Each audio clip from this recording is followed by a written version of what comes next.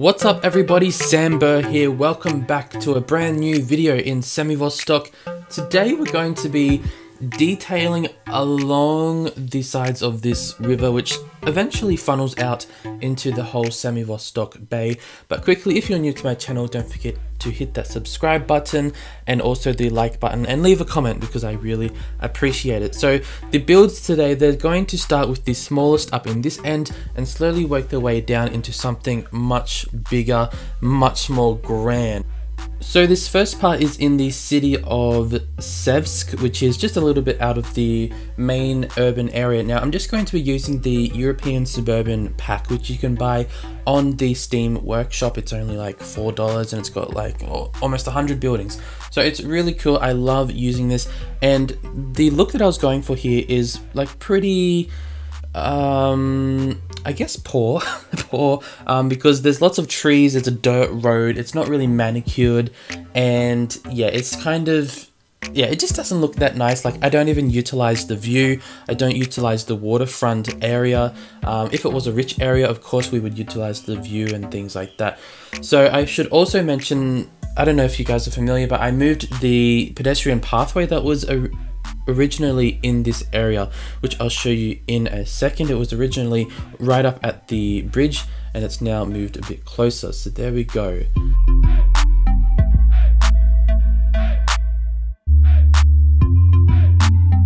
And just quickly, this is the ferry station. I updated it, put in some cafes, a little shop there, and some boardwalks. It looks really nice, and of course, I moved it forward. Okay, so let's move on to something a little bit bigger. So this area here, it's got the train that goes straight through it. That's what we're going to be working on. But it also has the pedestrian pathway right there for easy access. Of course, I'm going to utilize that. And the golf course is right there. Now, the design I wanted to use is just very basic Russian social housing, I guess, or just generic housing with the big housing blocks and things like that. And I guess it, it is kind of, in my mind, a bit poorer because it is right on the train line. Like you, you literally you open your window and there's a train right there. So I like obviously the richer people wouldn't live there, um, but it's still a good location. It's an inner city area, but I just use these very generic looking white buildings. But hey, I still I'm still getting moist. No, that sounds gross. I still think they look really good. And I think why I used a more uh, grid type structure is because some of the other areas in this video they're more free flowing versus this one is more grid like so it's nice to have a bit of comparison um, I've also thrown in a whole lot of parking areas of course you have to place down the parking lots yourself which I love and I think it looks so much more realistic when you see all those little people parking their cars and things like that. Now, to make this area look even poorer, I don't really detail too much. I generally leave all of the natural vegetation there. So all of the area between that fence that I just put and the road, it's just empty space. Now that could eventually be changed into like a corner store or some other little houses, but I think it looks really good just leaving it like that. It really fits in with the whole poor theme that I'm going for. Dirt pathway, that's probably not really an official pathway. See there's lots of trees going through the whole area and like there's a few playgrounds which is pretty common but yeah it's not really detailed it's very generic trees are just kind of everywhere there's lots of big bits of grass, and I wouldn't want to live there.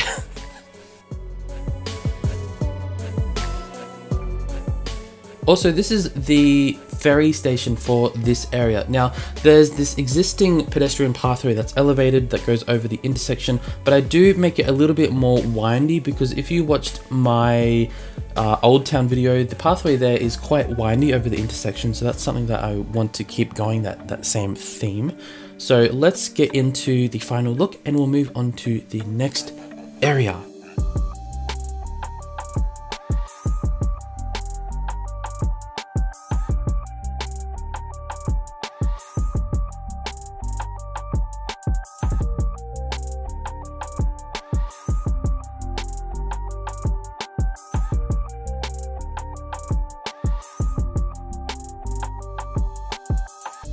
So this area is literally just on the other side of the road.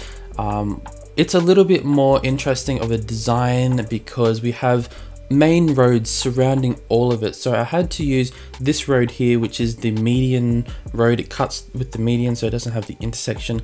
Um, I didn't want to add any main road connection onto that main road above or the one below because they all have main traffic, especially that bottom one. So the only connection into this area is that little one to the left of the screen right there. Um, it's also it's also a little bit worrying because there's a lot more people living in this area versus the other areas because the buildings that are used here are really large. They're the real big Russian style apartment buildings. Um, but actually, surprisingly, a lot of them just end up using the pedestrian pathway, which is really cool. And I love seeing them all use their pathways. And the I don't know if you realize what I just did then, but the buildings I flipped them around because they were connecting to the main road. But I want all the buildings to connect to the little path of the little road that I've put down there, the, the squarish one. So I don't want any large buildings connecting to the main roads because obviously then people are going to stop on the main roads or they're going to spawn cars on the main road. And then, and then of course that's going to um, back up all of the other traffic on the road. So yeah, just getting it all off. And um, yeah, so you can see the, the buildings are really large. We've got a little, what is that, a baseball court and um, we've got this little plaza area here so they can kind of just look straight down. And this is a pretty common method. Uh, sometimes they do have another building in the middle but I didn't want to overcrowd it too much. I still wanted to give them a little bit of a view.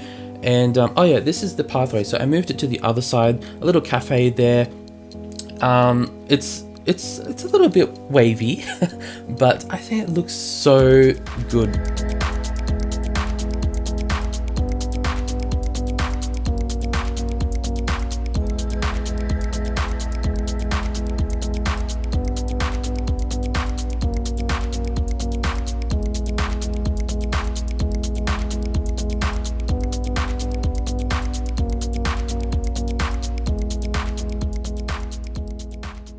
Last but not least is Bryansk, and um, we're going to be working on this whole big green patch here along the shoreline. This part took quite some time because the elevations change. Um, so the elevation here was actually way too high versus the water level. So originally the water level was like two or three meters higher than it is now and I didn't always realize that. So what happened was the water level was high it went down for whatever reason and then I started building new areas around that new low water level. And I couldn't and then if we went back and look at the older areas of the city suddenly we have these weird sea walls that are like five meters higher above the sea water, above the water level, and it looks really weird. So I needed to lower the sea wall here. Um, it's now back down to the sea level, but then we still have that weird other level, so I have to break it up with this other wall barrier right there. And I don't know why but it just took so long managing that wall and uh, managing putting in rocks and things because this part here I wanted to put in this Russian Russian tower. And instead of doing a boardwalk or seawall whatever you want to call it all the way along I wanted to break it up because to me a seawall could look a little bit too much all the way, it might look a little bit too artificial. I like to break it up with some rocks and put in this nice tower. Now, of course, the pathway has to continue on, um, and it also needed access to get off off the main pathway. So if they want to just walk along the boardwalk and then just get off in this area, they can. Um, a lot of rocks in this area.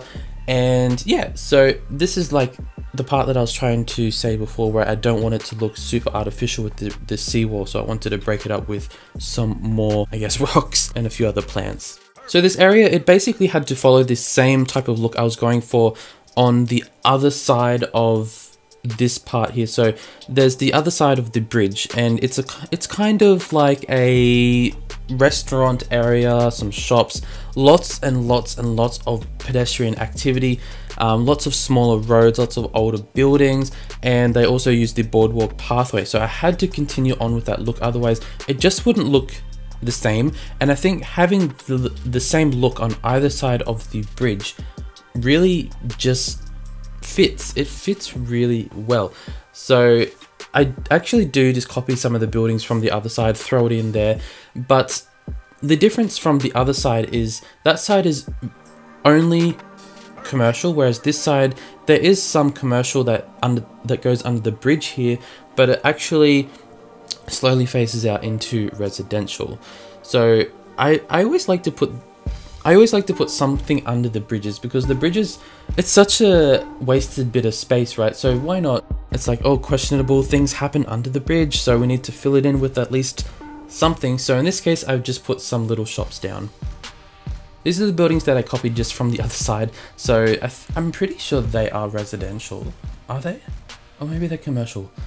Either one, no, I think they're, I think they're residential, but they, they give us the more Russian style historical look, but it's a little bit more advanced than the old town, um, different era, I suppose.